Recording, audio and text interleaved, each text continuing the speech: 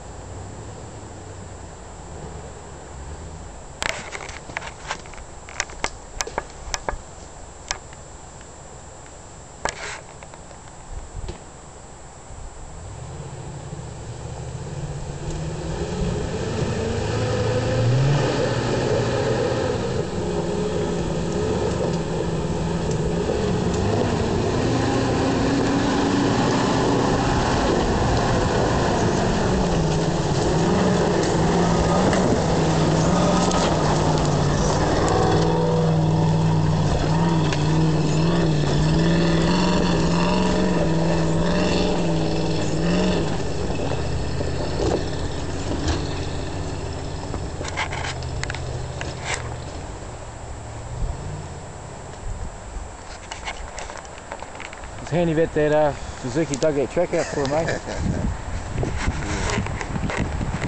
All you wouldn't see it was uh, Range Rover 3.54 speed. Me and Paul dug the track out for Dave so he could get up there. Uh, it worked. Otherwise he would have been in some kind of trouble.